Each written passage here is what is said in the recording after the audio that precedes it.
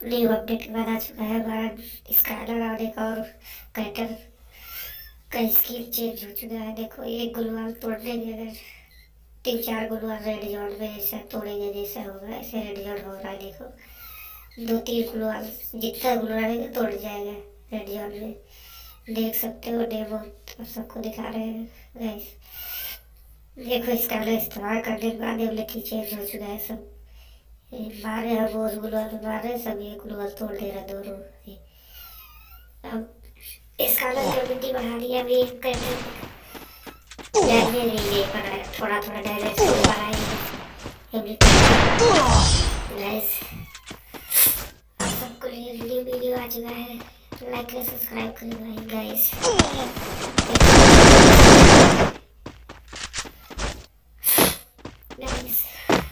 देखो। and